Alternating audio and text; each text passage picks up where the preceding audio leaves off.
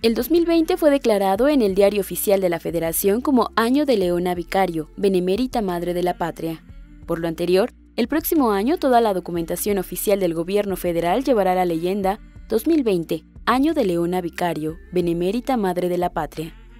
Además, el decreto indica que el Ejecutivo, en coordinación con los otros poderes de la Unión y órganos públicos autónomos, establecerán un programa de actividades para conmemorar el Año de Leona Vicario.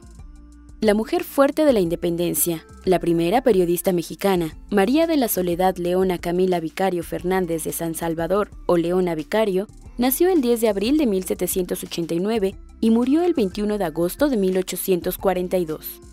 Mujer inteligente, desarrolló gusto por la pintura, la política, la historia y la literatura. Su ascendencia le dio distingo y elegancia. Se unió al movimiento independentista desde el periodismo. Al inicio de la Guerra de Independencia, ella se sumó a la insurgencia luego de que ésta la contactara desde la Ciudad de México. Ella les daba información de lo que ocurría ahí y les ayudó con algunos bienes, todo por la causa. Vicario fue una mujer aguerrida que vivió el presidio y la persecución. Fue parte de las huestes del general José María Morelos y Pavón, y tras los ires y venires libertarios, al final de su vida se estableció en Toluca, donde falleció a los 53 años.